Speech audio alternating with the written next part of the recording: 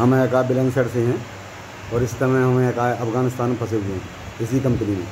हम भारत सरकार से दरखास्त करते हैं, हमारे माननीय मोदी जी से और हमारे माननीय प्रधानमंत्री, हमारी जल्दी से हमको यहाँ से निकाला जाए, हम यहाँ बहुत दिक्कत में यहाँ बहुत बमबारी हो रही है, कंपनी में हम लोग लोग हैं, कंपनी से मैं बाहर नहीं जा रहा और हमारा पासपोर्ट भी कंपनी के अंडर में है।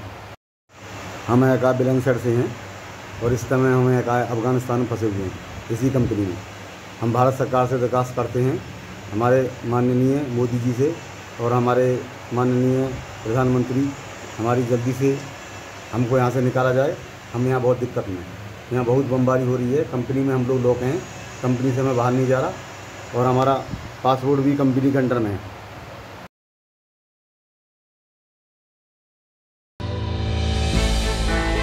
हमने की गलती फिर एक बार। कोरोना ने किया, दोबारा प्रहार।